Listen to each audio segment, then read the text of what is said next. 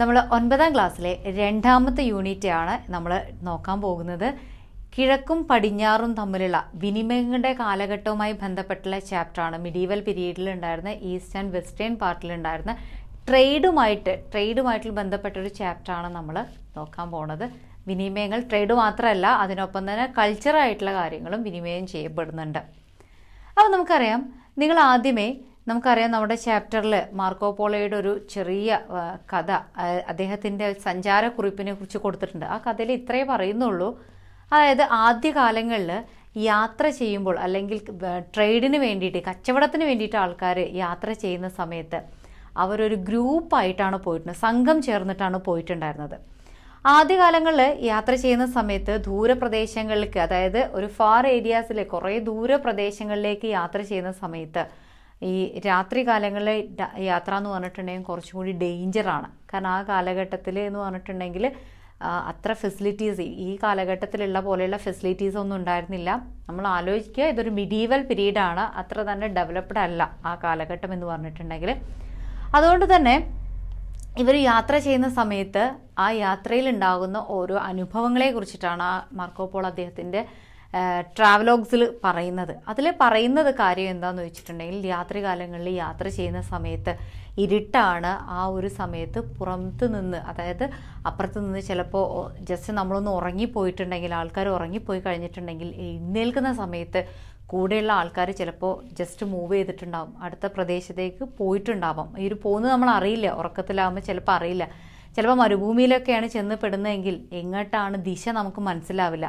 അപ്പോൾ ഈ ഇരുട്ടിന്റെ ഇരുട്ടിന്റെ മറവിൽ പല തരത്തിലുള്ള ശബ്ദങ്ങൾ വോയിസസ് നമുക്കിങ്ങനെ കേൾക്കാൻ പറ്റും. ഈ വോയിസ് കേൾക്കുന്ന സമയത്ത് നമ്മൾ ആൾക്കാർ അതേ റൂട്ടിലേക്കാണ് നമ്മൾ പോയി നോക്കുകയാണെങ്കിൽ ചിലപ്പോൾ മരണം വരെ സംഭവിക്കാം. അതായത് പല സ്പിരിച്വൽ ആയിട്ടുള്ള കാര്യങ്ങളും അതുപോലെ തന്നെ റോബറീസ് കള്ളന്മാരായിട്ടുള്ള ആൾക്കാരുണ്ടാവും. അങ്ങനത്തെ കുറേ കാര്യങ്ങളുണ്ടാവും. അപ്പോൾ ഇവരെ കൊള്ളയടിക്കാൻ വേണ്ടിയിട്ടൊക്കെ ആയിരിക്കാം ആദ്യകാലങ്ങളിൽ ചില ആൾക്കാർ ഇങ്ങനെ ഇരുട്ടിൽ നിന്ന് പല ശബ്ദങ്ങളൊക്കെ കേൾക്കുമ്പോൾ ആ ഭാഗത്തേക്ക് പോവുകയും അവർക്ക് അപകടം സംഭവിക്കുന്നതായിട്ടൊക്കെയാണ് അതിന്റെ അകത്ത് എഴുതിയിട്ടുള്ളത്. അങ്ങനെ കുറേ കാലങ്ങൾക്ക് കുറച്ച് കഴിഞ്ഞ സമയത്ത് ഈ ട്രേഡ് ആയിട്ട് പോകുന്ന ഗ്രൂപ്പ്സ് ആ കച്ചവടത്തിന് പോകുന്ന സംഘങ്ങൾ അവർ അവർ കൊണ്ടുപോകുന്ന മൃഗങ്ങളുടെ ഇപ്പോൾ കാളയുടെ പുറത്തൊക്കെ ആയിരിക്കും സാധനങ്ങൾ കാളവണ്ടിയൊക്കെ ഉണ്ടായിരിക്കും. അപ്പോൾ ആ സമയത്ത് ഈ ഇതിന്റെ അകത്തേക്ക് ഇവരെന്ത് ചെയ്യും? ഈ ആ മൃഗങ്ങളുടെ കഴുത്തിൽ മണി കിട്ടും. കാരണം നമുക്കറിയാം എപ്പോഴും നമ്മൾ മൂവ് ചെയ്യുന്ന സമയത്ത് ആ മണിയുടെ ഒച്ച കേൾക്കുന്നതുകൊണ്ട് തന്നെ ആൾക്കാർക്ക് എങ്ങോട്ടേക്കാണ് പാസ് ചെയ്യുന്നതെന്നുള്ള ഐഡന്റിഫൈ ചെയ്യാൻ പറ്റും. അപ്പോൾ അതുമായി ബന്ധപ്പെട്ട് തുടങ്ങുകയാണ് നമ്മളുടെ ആ ഒരു കഥ തുടങ്ങി മാർക്കോപോളോയുടെ ഈ സഞ്ചാരക്കുറിപ്പിൽ നിന്ന് നമുക്ക് മനസ്സിലാവുന്ന കാര്യം. ട്രേഡിന് വേണ്ടിയിട്ട് പല പ്രദേശങ്ങളിൽ നിന്ന് ആൾക്കാർ കാൽനടയായിട്ട് അതുപോലെ തന്നെ യാത്ര ചെയ്യുന്നതായിട്ടും കച്ചവടം നടത്തുന്നതായിട്ടും ബന്ധപ്പെട്ട ഒരു ചെറിയ കാര്യം നമുക്ക് മനസ്സിലാക്കാൻ സാധിക്കും. മിഡീവൽ പീരീഡിൽ ഈസ്റ്റ് ടു വെസ്റ്റ് ഈസ്റ്റേൺ പാർട്ടിൽ നിന്ന് വെസ്റ്റേൺ പാർട്ടിലേക്കുള്ള ട്രേഡ് നടന്നിട്ടുണ്ടായിരുന്നു. അത് നമ്മുടെ പാഠപുസ്തകത്തിൽ നമ്മുടെ മാപ്പ് നിങ്ങൾ ഒബ്സർവ് ചെയ്തിട്ടുണ്ടെങ്കിൽ നിങ്ങൾക്ക് എവിടെ മുതൽ എവിടെയെന്ന് കാണാൻ പറ്റും. അപ്പോൾ നിങ്ങൾ ഈ മാപ്പ് നോക്കുന്ന സമയത്ത് കോണ്ടിനെന്റ് കൊടുത്തിട്ടുണ്ട്. ഏഷ്യ ഉണ്ട് യൂറോപ്പ് ഉണ്ട് അതുപോലെ തന്നെ ആഫ്രിക്കൻ കോണ്ടിനെന്റിലൊക്കെ കൊടുത്തിട്ടുണ്ട് അല്ലേ? ഈ ഒരു ഏരിയ നമ്മൾ നോക്കുകയാണെങ്കിൽ അതിൽ തന്നെ നിങ്ങൾക്ക് കാണാൻ പറ്റും രണ്ട് റൂട്ടുകളെ കാണിച്ചിട്ടുണ്ട്. ഒന്ന് സിൽക്ക് റൂട്ട് എന്നും മറ്റൊന്ന് സ്പൈസ് റൂട്ട് എന്ന് പറയുന്ന രണ്ട് റൂട്ടുകൾ സിൽക്ക് പട്ടുതുണി പാത എന്നും അതുപോലെ തന്നെ സുഗന്ധവ്യഞ്ജന പാത എന്നറിയപ്പെടുന്ന രണ്ട് വഴികളെ കുറിച്ചിട്ട് അതിൽ പറയുന്നുണ്ട്. അതായത് മധ്യകാലഘട്ടത്തിൽ വിനിമയങ്ങൾ നടന്നിട്ടുണ്ടായിരുന്നത് പ്രധാനമായിട്ടും രണ്ട് മാർഗങ്ങളിലൂടെയാണ്. ഒന്ന് കരമാർഗമുള്ള വിനിമയം ഉണ്ടായിരുന്നു. സമുദ്രമാർഗമുള്ള വിനിമയമുണ്ട് അതായത് ലാൻഡ് റൂട്ടായിട്ടുള്ള ട്രേഡ് എക്സ്ചേഞ്ചസ് പ്രോസസ്സുകൾ ഉണ്ടായിരുന്നു. അതുപോലെ തന്നെ ഓഷ്യൻ ത്രൂ ത്രൂ ഔട്ട് ഓഷ്യനിലൂടെ എന്തുണ്ടായിരുന്നു? എക്സ്ചേഞ്ചസ് നടന്നിട്ടുണ്ടായിരുന്നു. അതുകൊണ്ട് തന്നെ ഇവ അറിയപ്പെടുന്നത് സിൽക്ക് റൂട്ട് എന്നും അതുപോലെ തന്നെ സ്പൈസ് റൂട്ട് എന്നും അപ്പോൾ കരയിലൂടെ പോകുന്നത് അതായത് ലാൻഡ് ഏരിയയിലൂടെ ത്രൂ ഔട്ട് ലാൻഡ് ഏരിയയിലൂടെയുള്ള എക്സ്ചേഞ്ചുകളെ അറിയപ്പെടുന്നത് സിൽക്ക് റൂട്ട് അല്ലെങ്കിൽ പട്ടു തുണിപ്പാത എന്നും അതുപോലെ തന്നെ ഓഷ്യൻ പാർട്ടിലൂടെ പോകുന്ന റൂട്ടിനെ നമ്മൾ സ്പൈസസ് സ്പൈസ് റൂട്ട് എന്നാണ് അറിയപ്പെടുന്നത്. അതായത് സമുദ്രം വഴിയുള്ള കച്ചവടം അല്ലെങ്കിൽ വിനിമയം നടക്കുന്നതിന് നമ്മൾ സുഗന്ധവ്യഞ്ജന പാത എന്നാണ് വിളിച്ചിട്ടുണ്ടായിരുന്നത്. അപ്പോൾ കിഴക്ക് നിന്നും പടിഞ്ഞാറ് അതായത് കിഴക്ക് ചൈന മുതൽ പടിഞ്ഞാറ് യൂറോപ്പ് വരെയുള്ള പ്രദേശങ്ങളിലേക്കായിരുന്നു ഈ കച്ചവടം നടന്നിട്ടുണ്ടായിരുന്നത്. ഏകദേശം ആറായിരം കിലോമീറ്ററോളം കരയിലൂടെ ഡേഞ്ചറസ് ആയിട്ടുള്ള ഏരിയ സോൺസിലൂടെ ഒക്കെ കാൽനടയായിട്ടോ ആ, ചില ചെറിയ ചെറിയ മാർഗങ്ങളിലൂടെ അവർ കൊണ്ടുപോയിട്ടുണ്ടായിരുന്നത് ഈ കച്ചവടത്തിന് വേണ്ടിയിട്ടുള്ള വിനിമയങ്ങൾ കൊണ്ടുപോയിട്ടുണ്ടായിരുന്നു. എന്നാൽ നമുക്കറിയാം ഇവിടെ എക്സ്ചേഞ്ച് ചെയ്യപ്പെടുന്നത് ട്രേഡ് ഗുഡ്സ് മാത്രമല്ല കച്ചവട സാധനങ്ങൾ മാത്രമല്ല മറിച്ച് നമ്മുടെ കൾച്ചർ കൂടി എന്ത് ചെയ്യുന്നുണ്ട്? എക്സ്ചേഞ്ച് ചെയ്യുന്നുണ്ട് അല്ലേ? നമ്മുടെ കൾച്ചർ സംസ്കാരം കൂടി എന്ത് ചെയ്യുന്നുണ്ട്? എക്സ്ചേഞ്ച് ചെയ്യപ്പെടുന്നുണ്ട്. അപ്പോൾ ചൈന മുതൽ യൂറോപ്പ് വരെയുള്ള ഭാഗങ്ങളിൽ അവിടുത്തെ കൾച്ചറും കൂടി എന്ത് ചെയ്യുന്നുണ്ട്? ഇതിന്റെ കൂടെ ഒന്ന് എക്സ്ചേഞ്ച് ചെയ്യപ്പെടുന്നുണ്ട്. അപ്പോൾ നമ്മൾ പറഞ്ഞ് കിഴക്ക് ചൈന മുതൽ പടിഞ്ഞാറ് യൂറോപ്പ് വരെയുള്ള ഭാഗങ്ങളിലേക്കുള്ള ലാൻഡ് റൂട്ടിലൂടെയും ഓഷ്യൻ റൂട്ടിലൂടെയും ഉണ്ടായിരുന്ന ട്രേഡിനെ അല്ലെങ്കിൽ എക്സ്ചേഞ്ചിനെയാണ് നമ്മൾ സിൽക്ക് റൂട്ട് സ്പൈസ് റൂട്ട് എന്നറിയപ്പെടുന്നത്. പട്ടുതുണിപ്പാത എന്നും അതുപോലെ തന്നെ അറിയപ്പെടുന്നത്. സുഗന്ധവ്യഞ്ജന പാത എന്നറിയപ്പെടുന്ന രണ്ട് പാതകൾ നമ്മൾ പറഞ്ഞു. ഇതിൽ തന്നെ നമുക്കറിയാം സിൽക്ക് റൂട്ട് എന്ന് പറഞ്ഞിട്ടുണ്ടെങ്കിൽ അല്ലെങ്കിൽ പട്ടുതുണിപ്പാത എന്ന് പറഞ്ഞിട്ടുണ്ടെങ്കിൽ ത്രൂ ഔട്ട് ലാൻഡ് ഏരിയയിലാണ് അതായത് നമ്മൾ പൂർണമായിട്ടും കരഭാഗങ്ങളെ മാത്രം കണക്ട് ചെയ്തുകൊണ്ട് പോകുന്നതാണ്. എന്നാൽ സ്പൈസ് റൂട്ട് സുഗന്ധവ്യഞ്ജന പാത എന്ന് പറഞ്ഞിട്ടുണ്ടെങ്കിൽ അത് ഏത് വഴിയാണ്? സമുദ്രം വഴിയാണ്. ഇത് സമുദ്രം വഴിയുള്ള ഒരു റൂട്ടായിട്ട് അല്ലെങ്കിൽ അതിലും അത് വഴിയാണ്. അതിൽ ഇതിൽ പോകുന്ന സമയത്ത് നമുക്കറിയാം ശ്രീലങ്ക ഏഷ്യയിലെ ഭാഗങ്ങളായിട്ടുള്ള ഇന്ത്യ അതുപോലെ തന്നെ ആഫ്രിക്കന്റെ കുറേ സ്ഥലങ്ങളൊക്കെ കവർ ചെയ്തിട്ടാണ് ഈ ഓഷ്യൻ പാർട്ടിലൂടെയുള്ള യാത്രകൾ അപ്പോൾ ഇതിൽ പോകുമ്പോൾ നമുക്കറിയാം സുഗന്ധവ്യഞ്ജനങ്ങളുടെ കലവറ അതായത് സുഗന്ധവ്യഞ്ജനങ്ങൾ സാധനങ്ങളാണ് ഇതിന്റെ ഈ റൂട്ടിലൂടെ അവർ എക്സ്ചേഞ്ച് ചെയ്തിട്ടുണ്ടായിരുന്നത്. അപ്പോൾ നമ്മൾ പറഞ്ഞു ലാൻഡ് ഏരിയയിലൂടെയും അതുപോലെ തന്നെ സീ റൂട്ടിലൂടെയും എന്ത് നടന്നിട്ടുണ്ടായിരുന്നു കച്ചവടം നടന്നിട്ടുണ്ടെന്ന് പറഞ്ഞു. ഒന്നും രണ്ടല്ല അനേകം ധാരാ ലോഡ്സ് ഓഫ് ട്രേഡ് ഈ ഒരു പാർട്ടിലൂടെ നമ്മൾ നടക്കുന്നതായിട്ട് പറയുന്നുണ്ട്. എന്നാൽ ഈ ഒരു മിഡിവൽ ഏജിൽ മധ്യകാലഘട്ടത്തിൽ ഏറ്റവും കൂടുതൽ ട്രേഡ് അല്ലെങ്കിൽ എക്സ്ചേഞ്ച് ഒക്കെ ഏറ്റവും കൂടുതൽ സ്ട്രോങ് ആവുന്നത് ക്രൂസൈഡ്സ് അതായത് കുരിശുദ്ധങ്ങളുടെ സമയത്താണ്. നമുക്കറിയാം കുരിശുദ്ധങ്ങൾ നടന്നിട്ടുണ്ടായിരുന്നത് പതിനൊന്നാം നൂറ്റാണ്ടിന്റെയും പതിനഞ്ചാം നൂറ്റാണ്ട് പതിമൂന്നാം നൂറ്റാണ്ടിന്റെയും ഇടയ്ക്കുള്ള സമയത്താണ് ഇത് യൂറോപ്പിലും തുർക്കികളും തമ്മിലുണ്ടായിരുന്ന കലാപമാണ് ഇതെന്ന് പറയുന്നത്. കുരിശുദ്ധം അല്ലെങ്കിൽ ക്രൂസൈഡ്സ് എന്ന് പറയുന്നത് ക്രൂസൈഡ്സ്.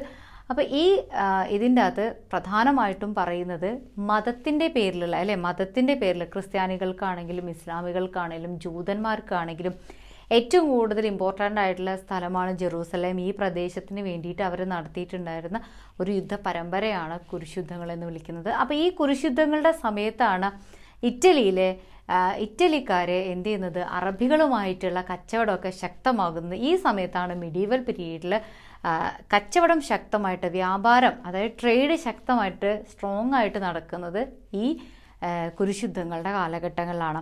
അതിൽ എസ്പെഷ്യലി അറബിന്റെ പാർട്ടായിട്ടുള്ള ബാഗ്ദാദ് ദമാസ്കസ് അങ്ങനെയുള്ള പ്രദേശങ്ങളുമായിട്ട് ജെറൂസലേം തുടങ്ങിയിട്ടുണ്ടായിരുന്ന പ്രദേശങ്ങളുമായിട്ട് ഇറ്റലിക്കാർക്ക് ഇറ്റാലിയൻ ഇറ്റാലിയൻ ട്രേഡേഴ്സിന് മർച്ചൻസിന് എന്ത് ചെയ്തിട്ടുണ്ടായിരുന്നു? കണക്ഷൻ ഉണ്ടായിട്ടുണ്ട് എന്ന് പറയപ്പെടുന്നുണ്ട്. അല്ലേ? അതിനുള്ള തെളിവുകളും ആ ഒരു സമയത്തുണ്ട്. അതുപോലെ തന്നെ അതുകൊണ്ട് തന്നെ ഇവിടെ ഒരു വെസ്റ്റേൺ റോമൻ കൾച്ചറിന്റെ ഒരു സ്പ്രെഡും കൂടി നമുക്ക് കാണാൻ സാധിക്കുന്നുണ്ട്. കിഴക്കൻ പ്രദേശങ്ങളും അതുപോലെ തന്നെ വെസ്റ്റേൺ ഏരിയാസ് ഈസ്റ്റേൺ പാർട്ടും വെസ്റ്റേൺ പാർട്ടും തമ്മിലുള്ള എക്സ്ചേഞ്ചസ് ശക്തമാവാൻ വേണ്ടിയിട്ട് കുറച്ച് റീസൺസ് ഉണ്ട്. അതായത് അത് ഡെവലപ്പ് ചെയ്യാൻ വേണ്ടിയിട്ട് ചില കാര്യങ്ങളുണ്ട്. അതിൽ ഏറ്റവും പ്രധാനപ്പെട്ടതാണ് റാപ്പിഡ് ഗ്രോത്ത് ഓഫ് പ്രൊഡക്ഷൻ പ്രൊഡക്ഷനിൽ ഉണ്ടാകുന്ന വലിയൊരു മാറ്റം.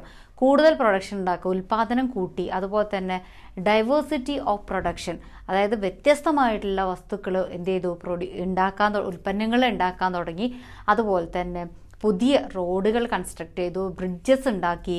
അതുപോലെ തന്നെയാണ് ഇവിടുത്തെ അഡ്മിനിസ്ട്രേഷൻ എന്ന് പറയുന്നത് കുറച്ചും കൂടി എന്ത് ചെയ്തു? ഒരു കൺട്രോൾഡ് ആയിട്ടുള്ള കൺട്രോൾ എങ്ങനെയാണെന്ന് വെച്ചിട്ടുണ്ടെങ്കിൽ കള്ളന്മാർ തീവ്സ് അതുപോലെ തന്നെ പിടിച്ചു പറിക്കാരായിട്ടുള്ള കൊള്ളക്കാർ റോബേഴ്സ് ഇവരൊക്കെ എന്ത് ചെയ്തു? കൺട്രോൾ ചെയ്യുന്ന തരത്തിലൊരു അഡ്മിനിസ്ട്രേഷനും വന്നോട് കൂടിയിട്ട് അല്ലെങ്കിൽ അങ്ങനത്തെ ഒരു മാറ്റം ഉണ്ടായതോട് കൂടിയിട്ട് ഈസ്റ്റേൺ പ്രദേശവും അതുപോലെ തന്നെ വെസ്റ്റേൺ പാർട്ടുമായിട്ടുള്ള എക്സ്ചേഞ്ചിങ് എന്ന് പറയുന്നത് ഡെവലപ്പ് ചെയ്യാൻ വേണ്ടിയിട്ട് സഹായിച്ചിട്ടുണ്ട്. അപ്പം ചോദ്യം ഇങ്ങനെ ഒരു ചോദ്യം വരികയാണ്. ഈസ്റ്റേൺ ഏരിയാസും അതുപോലെ തന്നെ വെസ്റ്റേൺ ഏരിയാസും തമ്മിലുള്ള ട്രേഡ് ഡെവലപ്പ് ചെയ്യാനുള്ള മെയിൻ ആയിട്ടുള്ള റീസൺ എന്താണെന്ന് ചോദിച്ചിട്ടുണ്ടെങ്കിൽ നമുക്ക് എളുപ്പം പറയാൻ പറ്റും. എന്താണ്?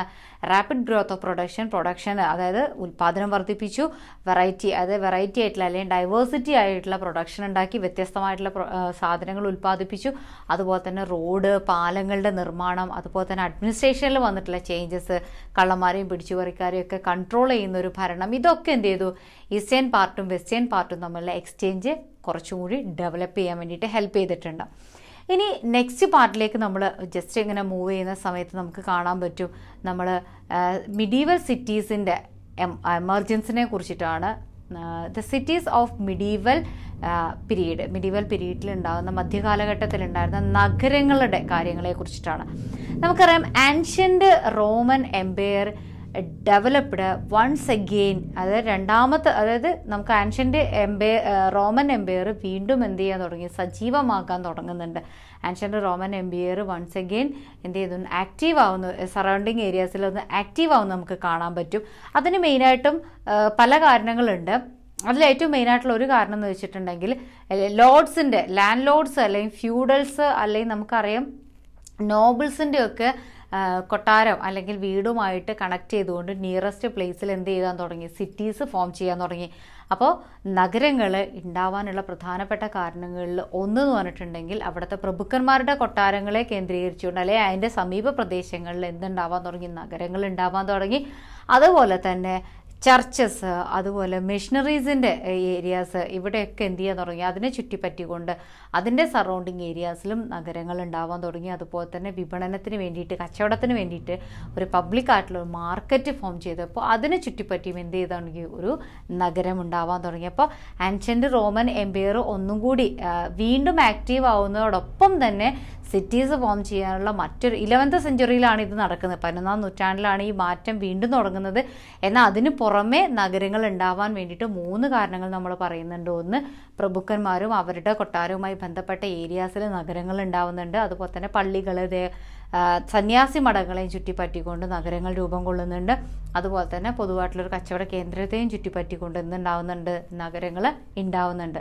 ഇനി മിഡീവൽ പീരീഡിൽ നമ്മൾ നോക്കുകയാണെങ്കിൽ മിഡീവൽ പീരീഡിൽ പെസൻസ് ആയിട്ടുള്ള ആൾക്കാർ അതായത് കൃഷിക്കാരായിട്ടുള്ള ആൾക്കാർ അവരുണ്ടാക്കുന്ന പ്രൊഡക്ഷൻസ് എക്സ്ചേഞ്ച് ചെയ്യാനായിട്ട് മാർക്കറ്റിലേക്ക് വരും അല്ലേ? അതായത് അവർ പൊതുവായിട്ടുള്ളൊരു വിപണി കേന്ദ്രീകരിച്ച് വരുന്നുണ്ട്.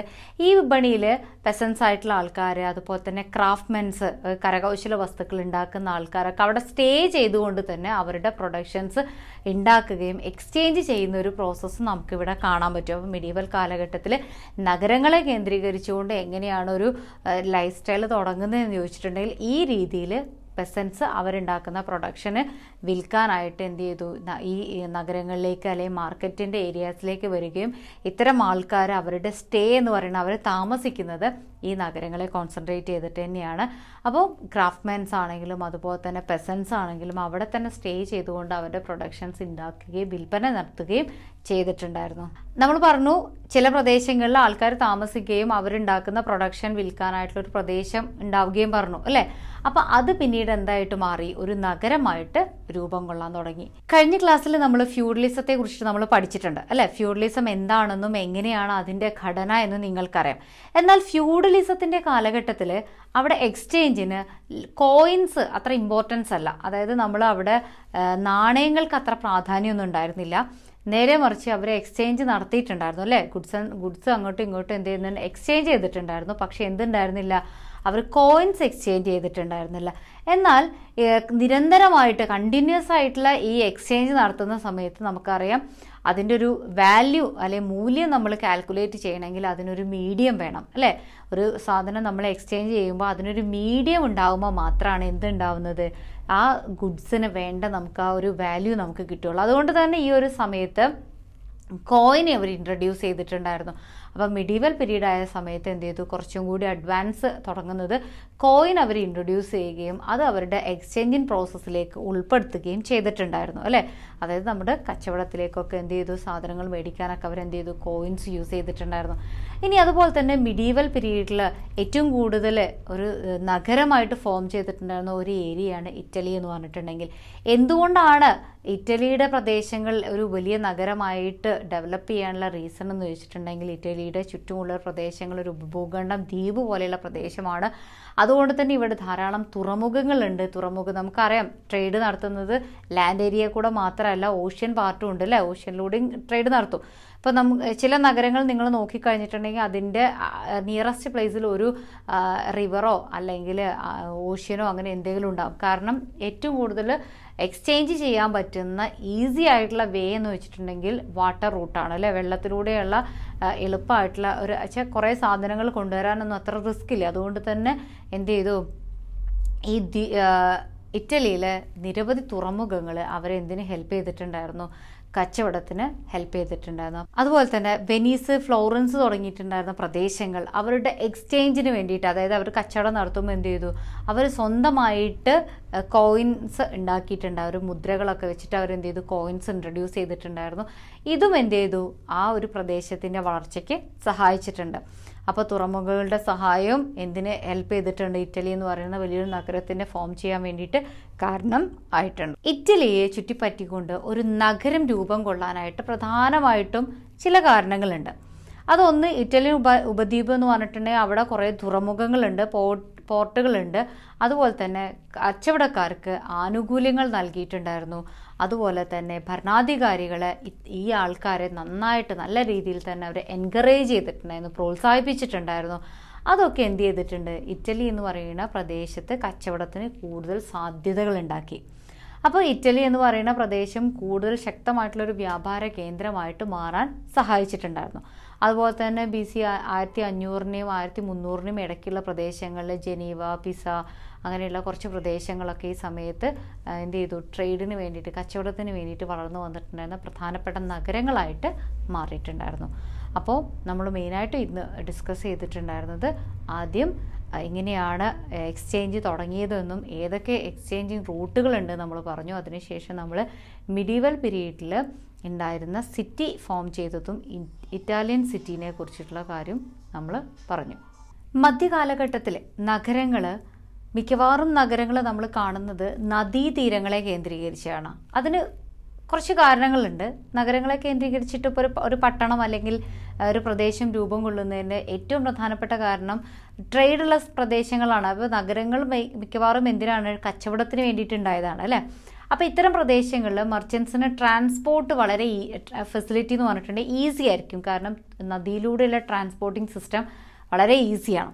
അതായത് നദികളിലൂടെ ചരക്കുകൾ കൊണ്ടുപോകാനും അത് നീക്കം ചെയ്യാനും പുതിയ സാധനങ്ങൾ കൊണ്ടുവരാനൊക്കെ എളുപ്പമായതുകൊണ്ട് നദീതീരങ്ങളെ കേന്ദ്രീകരിച്ചിട്ടാണ് മധ്യകാലഘട്ടത്തിൽ ആദ്യം നഗരങ്ങൾ ഉണ്ടായി തുടങ്ങുന്നത്. ഇനി അതുപോലെ തന്നെ നഗരങ്ങൾ ഈ നഗരങ്ങളെ കേന്ദ്രീകരിച്ചുകൊണ്ട് തന്നെ പുതിയ പുതിയ സംവിധാനങ്ങൾ തുടങ്ങാനായിട്ട് ഭരണാധികാരികൾ സൗകര്യം ചെയ്തു കൊടുത്തിട്ടുണ്ടായിരുന്നു. അതുപോലെ തന്നെ ജനസംഖ്യയിലുണ്ടായിരുന്ന വലിയൊരു വർധനവ് നഗരങ്ങളുടെ രൂപീകരണത്തിലേക്ക് വഴിവെച്ചിട്ടുണ്ടായിരുന്നു. അപ്പോൾ പ്രധാനമായിട്ടും നഗരങ്ങൾ മധ്യകാലഘട്ടത്തിൽ നഗരങ്ങളുടെ രൂപീകരണത്തിന് നമ്മൾ കാരണങ്ങൾ നോക്കുകയാണെങ്കിൽ പ്രധാനമായിട്ടും നമുക്ക് പറയാൻ പറ്റുന്നത് നദികളെ കേന്ദ്രീകരിച്ചിട്ടാണ് ആദ്യ കാലഘട്ടത്തിൽ നഗരങ്ങൾ രൂപം കൊണ്ടിട്ടുണ്ടായിരുന്നത്. അതായത് മർച്ചൻസിന് ട്രാൻസ്പോർട്ടേഷൻ എന്ന് പറയുന്നത് ഈസി ആയിട്ട് നടത്താൻ പറ്റുന്നത് നദികളിലൂടെയാണ്. അപ്പോൾ കച്ചവട സാധനങ്ങൾ കൊണ്ടുവരാനും നിലവിലുള്ള ചരക്കുകൾ നീക്കം ചെയ്യാനും എളുപ്പമായിട്ട് നദികൾ സഹായിച്ചിട്ടുണ്ടായിരുന്നു. നദികളിലുള്ള ട്രാൻസ്പോർട്ടിംഗ് സിസ്റ്റം സഹായിച്ചിട്ടുണ്ടായിരുന്നു. അപ്പോൾ നദികളുടെ യാത്ര അതുപോലെ തന്നെ കച്ചവട സാധനങ്ങൾ ചരക്കുകൾ നീക്കം ചെയ്യാനുള്ള സൗകര്യങ്ങളും നദീതീരങ്ങളെ ചുറ്റിപ്പറ്റിക്കൊണ്ട് നഗരങ്ങൾ വലുതാവാൻ സഹായിച്ചിട്ടുണ്ട്. ഇനി അതുപോലെ തന്നെ ഇത്തരം പ്രദേശങ്ങളിൽ ഏറ്റവും കൂടുതൽ നമുക്കറിയാം കച്ചവടക്കാർ കരകൗശലക്കാരൊക്കെയാണ് ഉണ്ടായിരുന്നത്. അപ്പോൾ ഇവർക്ക് വേണ്ടിയുള്ള സൗകര്യങ്ങളൊക്കെ ഭരണാധികാരികൾ ചെയ്തു കൊടുത്തിട്ടുണ്ട്. അതുപോലെ തന്നെ ജനസംഖ്യയിൽ ഉണ്ടായിരുന്ന ഒരു വർധനവും നഗരങ്ങളുടെ രൂപീകരണത്തിലേക്ക് വഴിവെച്ചു. ഇനി നമുക്കറിയാം നമ്മുടെ പാഠപുസ്തകത്തിൽ കുറച്ച് ലണ്ടന് പാരീസ് റോം അതുപോലെ തന്നെ വെനീസ് തുടങ്ങിയിട്ടുണ്ടായിരുന്ന പ്രദേശങ്ങൾ ഏത് നദിയുടെ തീരത്താണെന്ന് നിങ്ങൾ കണ്ടെത്താൻ വേണ്ടിയിട്ട് ഒരു തന്നിട്ടുണ്ട്. അത് നിങ്ങൾ കണ്ടെത്തുക. എന്നതിന് ശേഷം നമുക്ക് അടുത്ത ക്ലാസ്സിലേക്ക് അതിന്റെ നോട്ടൊന്ന് തരിക. കേട്ടോ? ഇനി എന്തെങ്കിലും ഡൗട്ട് ഉണ്ടെങ്കിൽ നമുക്ക് അടുത്ത ക്ലാസ്സിൽ നിങ്ങൾക്ക് കിട്ടിയിട്ടില്ലെങ്കിൽ നമുക്ക് അടുത്ത ക്ലാസ്സിൽ എന്തായാലും നമ്മളത് ഡിസ്കസ് ചെയ്യുന്നതാണ്. അല്ലേ? ഇനി നിങ്ങൾ നഗരങ്ങൾ എന്ന് പ്രതീക്ഷിക്കുമ്പോൾ ഇന്ന് കാണുന്ന ഒരു നഗരത്തിന്റെ ഒരു രീതിയോ സെറ്റ് ഒരു ഒരു ഔട്ട് ഫിഗറോ ഒന്നും നിങ്ങൾ പ്രതീക്ഷിക്കരുത്. പണ്ട് കാലത്തെ നഗരങ്ങൾ എന്ന് പറഞ്ഞിട്ടുണ്ടെങ്കിൽ ഇത്ര തന്നെ വലുപ്പമൊന്നുമില്ല. വളരെ ഇടുങ്ങിയതാണ്. വലുപ്പം വളരെ കുറഞ്ഞതാണ്. എന്നാൽ കൂടുതൽ ആൾക്കാർ തിങ്ങി പാർക്കുന്ന പ്രദേശങ്ങളാണ്. വൃത്തിഹീനമായിട്ടുള്ള വഴികളാണ് ഉണ്ടാവുക. അതുപോലെ തന്നെ ഇത്തരം ഇവിടെ താമസിക്കുന്ന ആൾക്കാർ കരകൗശല തൊഴിൽ ചെയ്യുന്ന ആൾക്കാർ തൊഴിലാളികൾ കൃഷിക്കാർ അതുപോലെ തന്നെ മറ്റ് കച്ചവടക്കാരായിട്ടുള്ള ആൾക്കാരാണ് ഇത്തരം പ്രദേശങ്ങളിൽ താമസിക്കുന്നവർ. തിങ്ങി ആണ് താമസിക്കുന്നത്. അതുപോലെ തന്നെ ഇവരുടെ വീടുകൾ ഒക്കെ ഉണ്ടാവുന്നത് മരം കൊണ്ടായിരിക്കും. ഇത്ര കറണ്ടും കാര്യങ്ങളൊന്നും ഇല്ലാത്തതുകൊണ്ട് തന്നെ അവർ വിളക്കുകൾ വെച്ചിട്ടാണ് ഉണ്ടാവുക. അപ്പം മരത്തിന്റെ ഒരു വീടുകൾ അല്ലെങ്കിൽ അങ്ങനത്തെ ഒരു സെറ്റപ്പിൽ വിളക്കൊക്കെ ഒന്ന് മറിഞ്ഞു കഴിഞ്ഞിട്ടുണ്ടെങ്കിൽ കത്തി നശിക്കാനൊക്കെ സാധ്യതയുണ്ട് അല്ലേ? അപ്പോൾ അത്രയും ഡേഞ്ചർ ആയിട്ടുള്ളൊരു സിറ്റുവേഷനാണ് ഇവിടുത്തെ നഗരങ്ങൾക്ക് ഉണ്ടായിരുന്നത്. പിന്നെ വൃത്തിഹീനമായിട്ടുള്ളൊരു പ്രദേശങ്ങളാണ് ഇത്തരം നഗരങ്ങൾ ഉണ്ടായിരുന്നത്. അതുപോലെ തന്നെ നമ്മൾ പറഞ്ഞിട്ടുണ്ടായിരുന്നു നഗരവാസികളായിട്ട് താമസിക്കുന്ന ആൾക്കാർ കരകൗശല ജോലി ചെയ്യുന്ന ആൾക്കാർ അതുപോലെ തന്നെ കച്ചവടക്കാരായിട്ടുള്ള ആൾക്കാർ കൃഷിപ്പണി കൃഷിയല്ല മറ്റ് തൊഴിൽ ചെയ്യുന്ന ആൾക്കാരൊക്കെയാണ് ഇവിടെ താമസിച്ചിട്ടുണ്ടായിരുന്നത്. എന്നാൽ നഗരവാസികൾ എന്ന് പറഞ്ഞിട്ടുണ്ടായിരുന്ന ആൾക്കാർക്ക് സാമ്പത്തിക സ്ഥിതി എന്ന് പറഞ്ഞിട്ടുണ്ടെങ്കിൽ വളരെ ലോ ലെവലായിരിക്കും അതുകൊണ്ട് തന്നെ ഇവർക്ക് മറ്റ് പ്രദേശങ്ങളെ പല കാര്യങ്ങൾക്കും ആശ്രയിക്കേണ്ടി വന്നിട്ടുണ്ടായിരുന്നു. അപ്പോൾ ഭക്ഷണ സാധനങ്ങൾക്ക് വേണ്ടിയിട്ട് അവർ ഗ്രാമപ്രദേശങ്ങളെയാണ് ആശ്രയിച്ചിട്ടുണ്ടായിരുന്നത്. അപ്പോൾ ഇത്തരം പ്രദേശങ്ങൾ അപ്പോൾ നഗരത്തിന്റെ ഒരു സവിശേഷത നിങ്ങളോടൊരു ചോദ്യം ചോദിക്കുകയാണ്. ആദ്യകാലങ്ങൾ മധ്യകാലഘട്ടത്തിൽ നഗരത്തിന്റെ ഒരു പ്രത്യേകത എന്താണെന്ന് ചോദിച്ചിട്ടുണ്ടെങ്കിൽ നിങ്ങൾക്ക് എളുപ്പത്തിൽ എഴുതാൻ പറ്റുന്ന ഒരു ഉത്തരമാണ് നഗരങ്ങൾ ഇന്ന് കാണുന്ന പോലെ തന്നെ അത്ര വിസ്തൃതിയോ വിസ്താരമോ ഒന്നും ഉണ്ടായിരുന്നില്ല. വളരെ ചെറുതും എന്താണ് ഇടുങ്ങിയതുമായിട്ടുള്ള പ്രദേശങ്ങളാണ് വൃത്തിഹീനമായിട്ടുള്ള അന്തരീക്ഷമാണ്. അതുപോലെ തന്നെ ബിൽഡിങ്ങുകൾ അവിടെ ഉണ്ടായിരുന്ന വീടുകൾ മരം കൊണ്ട് നിർമ്മിച്ചതാണ്. അതുകൊണ്ട് തന്നെ തീപിടുത്തത്തിന് സാധ്യത കൂടുതലാണ്. പിന്നെ നഗരവാസികളായിട്ടുള്ള ആൾക്കാരെന്ന് പറഞ്ഞിട്ടുണ്ടെങ്കിൽ തൊഴിലാളികൾ അതുപോലെ തന്നെ കച്ചവടത്തിനുള്ള ആൾക്കാർ കരകൗശല വസ്തുക്കൾ ചെയ്യുന്ന ആൾക്കാർ അങ്ങനത്തെ ആൾക്കാരാണ് അവിടെ സ്ഥിരമായിട്ട് താമസിച്ചുകൊണ്ടിരുന്നത്. ഇത്തരം ആൾക്കാർ വളരെ പാവപ്പെട്ട അല്ലെങ്കിൽ സാമ്പത്തിക സ്ഥിതി എക്കണോമിക്കലി അവരെന്താണ് ഏറ്റവും ലോ ബാക്ക്ഗ്രൗണ്ടാണ് അതുകൊണ്ട് തന്നെ ഇവർക്ക് ഇവർ ഡിപ്പെൻഡ് ചെയ്യുന്നത് ഫുഡ് ഐറ്റംസിനൊക്കെ ഡിപ്പെൻഡ് ചെയ്തിട്ടുണ്ടായിരുന്നത് അവിടുത്തെ വില്ലേജേഴ്സിനാണ് ഗ്രാമവാസികളെ അവർ ഡിപ്പെൻഡ് ചെയ്തിട്ടാണ് ജീവിച്ചിട്ടുണ്ടായിരുന്നത്. ഓക്കെ അപ്പോൾ ഇന്ന് നമ്മൾ ക്ലാസ്സിൽ ഡിസ്കസ് ചെയ്ത ഏരിയാസ് നിങ്ങൾക്ക് വ്യക്തമായിട്ടുണ്ടാവുമെന്ന് വിചാരിക്കുന്നു. ഇന്ന് നമ്മൾ ആദ്യം നമ്മൾ ഈസ്റ്റും വെസ്റ്റും തമ്മിലുള്ള എക്സ്ചേഞ്ചിങ് പ്രോസസ്സിനെ കുറിച്ചുള്ള ചാപ്റ്ററാണ് തുടങ്ങുന്നത്. അതിൽ നമ്മൾ സിൽക്ക് റൂട്ടും സ്പൈസ് റൂട്ടും പറഞ്ഞു. പട്ടു തുണിപ്പാതയും അതുപോലെ തന്നെ സുഗന്ധവ്യഞ്ജന പാതേനെയും കുറിച്ച് നമ്മൾ ഡിസ്കസ് ചെയ്തു. അതുപോലെ തന്നെ നമ്മൾ പറഞ്ഞിട്ടുണ്ടായിരുന്നതാണ് നഗരങ്ങളുടെ അല്ലെങ്കിൽ ഈസ്റ്റും വെസ്റ്റും തമ്മിലുണ്ടായിരുന്ന കച്ചവടം വികസിക്കാനുള്ള കാരണം നമ്മൾ പറഞ്ഞിട്ടുണ്ടായിരുന്നു. അതുപോലെ തന്നെ മധ്യകാലഘട്ടത്തിലെ നഗരങ്ങൾ രൂപം കൊള്ളാനുള്ള കാരണം നമ്മൾ പറഞ്ഞു. ഇറ്റലി ഒരു പ്രധാനപ്പെട്ട നഗര കേന്ദ്രമായിട്ട് വരാൻ ഉണ്ടായിരുന്ന കാരണം നമ്മൾ ഡിസ്കസ് ചെയ്തു. അതുപോലെ തന്നെ ഈ നഗരങ്ങൾ നദീതീരങ്ങളുമായിട്ടാണ് അടുത്താണ് നഗരങ്ങൾ ഉണ്ടായിരുന്നത്. അത് എന്തുകൊണ്ടാണെന്ന് നമ്മൾ ഡിസ്കസ് ചെയ്തിട്ടുണ്ടായിരുന്നു. പിന്നീട് നമ്മൾ പറഞ്ഞു നഗരങ്ങളുടെ സവിശേഷതകളും നമ്മൾ ഈ ക്ലാസ്സിൽ ഇവിടെ ഡിസ്കസ് ചെയ്തിട്ടുണ്ടായിരുന്നു. അപ്പോൾ എല്ലാവർക്കും അത് ക്ലിയർ ആയിട്ട് മനസ്സിലായി എന്ന് വിചാരിക്കുന്നു. Okay thank